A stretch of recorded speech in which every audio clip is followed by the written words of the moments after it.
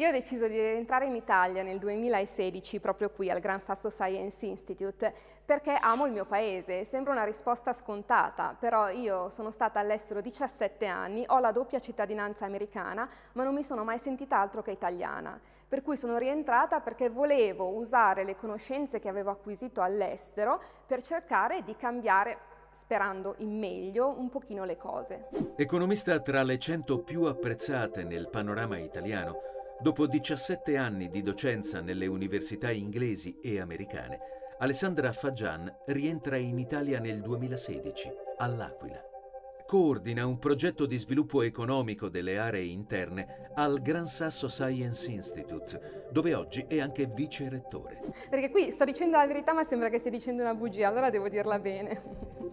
Nei suoi lavori centrati sulle disuguaglianze economiche, sociali e digitali, si avvale e promuove l'utilizzo degli open data. Per gli economisti, soprattutto per gli economisti applicati come me, i dati e gli open data sono fondamentali. Quando abbiamo un'intuizione del mondo, abbiamo bisogno di dati per provare che questa intuizione in realtà esiste ed è veritiera e senza dati purtroppo non possiamo farlo. Quindi gli open data sono veramente fondamentali per provare questa nostra intuizione. Ovviamente tutti i risultati delle nostre ricerche saranno poi degli open data che sono a disposizione dei cittadini e di altri fruitori nel caso in cui volessero continuare a fare ricerca su queste tematiche o volessero usarle ad esempio per delle politiche pubbliche. Il Gran Sasso Science Institute ha realizzato un importante studio sulla relazione tra le disuguaglianze sociali nella vita quotidiana e i tweet di odio che si diffondono in rete. Uno studio reso possibile proprio grazie alle informazioni provenienti da Open Data. Per fare questo studio abbiamo utilizzato degli Open Data, che erano gli Open Data della mappa dell'intolleranza di Vox Diritti. Abbiamo anche poi utilizzato dei dati sulla disuguaglianza che erano open data del Ministero delle Finanze. Sempre quest'anno, insieme a due altri miei colleghi, Alessandro Crociata e Daria Denti, abbiamo anche studiato la relazione fra il consumo culturale e eh, possibilmente il tweet di odio.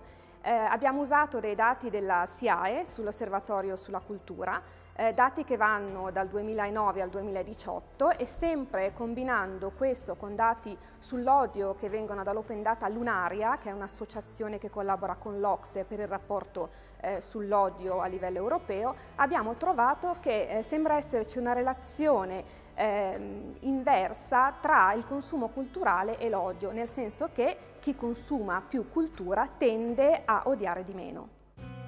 Questa ricerca, basata sugli open data messi a disposizione da fonti diverse, ha generato risultati molto interessanti. Questi studi stanno dando dei risultati molto interessanti, infatti noi troviamo che l'odio in forma di tweet o anche in forma di comportamenti eh, offline di odio eh, sono legati a eh, disuguaglianza da un lato in modo positivo, nel senso che la disuguaglianza aumenta i tweet di odio, mentre invece sono legati in modo inverso alla cultura, quindi dove si consuma più cultura in genere si odia di meno. Le nuove tecnologie e l'accesso alla rete possono giocare un ruolo determinante per la crescita economica delle aree geografiche meno sviluppate. Ma cerchiamo di capire il nesso tra digital divide e sviluppo economico di un'area geografica. È chiaro che gli open data sono molto importanti per queste aree e da quando sono tornata ho studiato il divario digitale che c'è fra le aree interne e le aree centrali. Bisogna colmare questo divario digitale, è veramente importante per lo sviluppo di queste aree anche e soprattutto perché possono usufruire di benefici come ad esempio quello di usufruire di open data.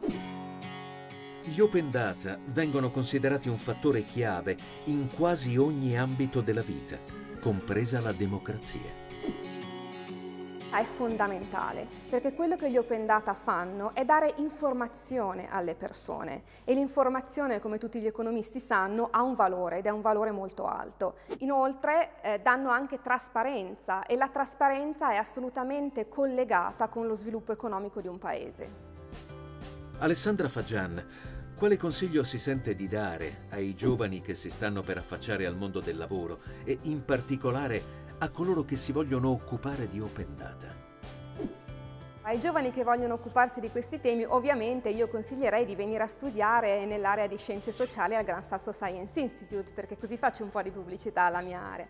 Scherzi a parte, in realtà ci sono tanti percorsi che si possono fare per studiare gli open data. Ci sono delle conoscenze informatiche, ci sono ovviamente delle conoscenze invece nelle scienze sociali eh, quindi dipende un po' da che angolo vogliono prendere nello studiare gli open data. Ci sono tante diverse possibilità, soprattutto qui. Io consiglio ai giovani, indipendentemente dal fatto che vogliano occuparsi di open data oppure no, di fare un'esperienza all'estero. Io l'ho fatta, mi è servita, quello che però consiglio anche ai giovani è di non rimanere all'estero, ma di tornare in Italia perché abbiamo bisogno delle menti eh, giovani e fresche che facciano di questo paese un paese migliore.